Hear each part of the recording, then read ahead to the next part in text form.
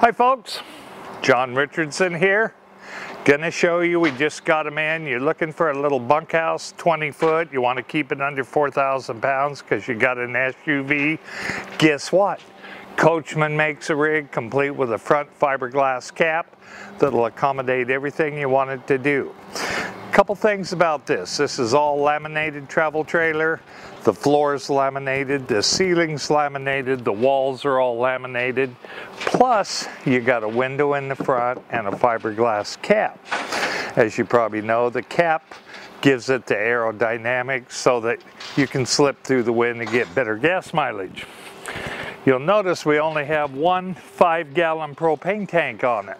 Well, how come you only got one, John? It's because we got an inch and three quarter of block foam insulation, kind of like a kickboard in the walls. The advantage of that is you're not going to have the fiberglass insulation settling down in the wall to where you have plenty of insulation in the bottom of the wall and none at the top. Consequently, that's why they do the aluminum frame vacuum bonded travel trailers. So I'll show you a little bit about this. We have a locked door here, obviously. I was supposed to come out and unlock this, but I wanted to get the videos out without worrying about whether it was unlocked or not. Magnetic latches. You'll notice here we have a Coleman cook stove, camp grill they call it.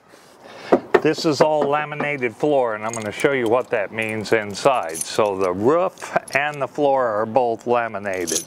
So I guess the best way to explain it, this has got a Murphy bed in it.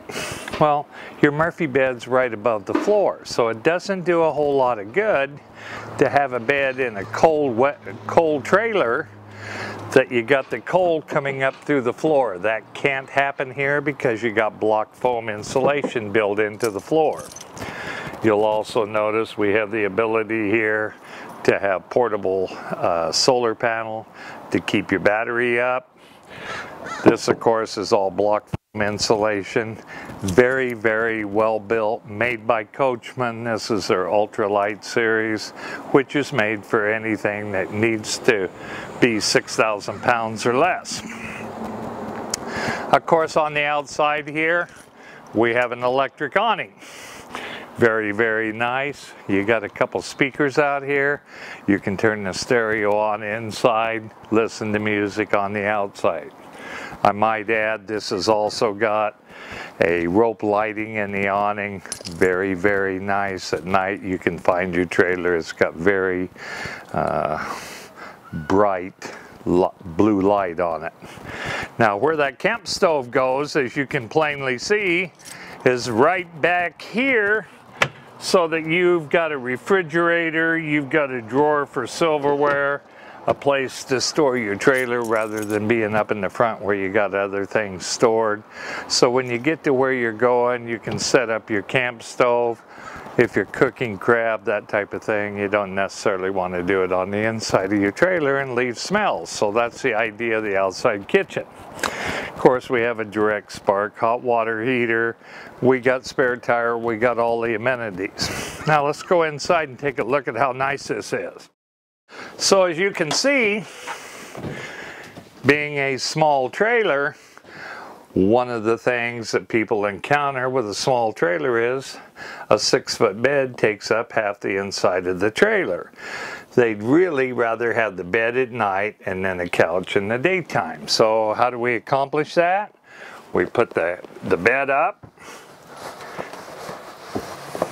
poke it in here, and then we have a couch. Don't need the bed taking up half the trailer. So now we got a couch in the daytime. We got a booth here so that we can play Monopoly, backgammon, that type of thing. You'll notice the bunk beds back here in the corner.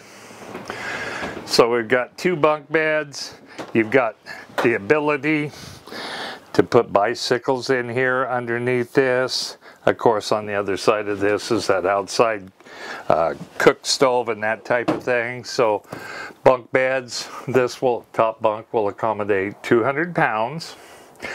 So that means I got to sleep on the bottom because I'm barely over 200. So, of course, we've got refrigerator with freezer. And one thing I'd like to point out for you ladies that might be a little shorter than I am, you don't have to reach up over your head to find out what's in the freezer. And of course, the kids can figure out where the snacks are because that's their height. Same thing with a microwave. You're heating something up, you don't have to reach up into a top cabinet to get your stuff out of the microwave. Plenty of cabinets, nice big stove. Now you remember me talking about laminated floor, laminated ceiling. Don't do this in your average trailer, which has a trussed roof. This is a laminated roof. That's all block foam up there. So therefore, I don't have to have two seven and a half gallon propane tanks in order to heat my trailer. This guy, think of it as being inside of a, an ice chest, if you will. Takes very little energy to keep it cool. That's what this air conditioner's for and very little propane to heat it up because it's all inch and a three quarter of block foam. Of course, the last thing I want to talk about, we got more storage here, a couple cabinets here. And last but not least, the throne room. So here we have medicine cabinet. We have a sink in there so you can brush your teeth. We got the commode. We got the shower with a skylight and a fan up above it. So folks, if you got any questions, my name's John Richardson. I've been here going on 28 years. There's the number down there at the bottom. Or better yet, come on out and ask for JR. I'll be more than happy Maybe you want something similar to this, but maybe this isn't the one. I got 400 to pick from. Come on out and let's go through them. I've been through them once or twice in my time here. Be glad to show you what we got. Thank you for taking the time to watch.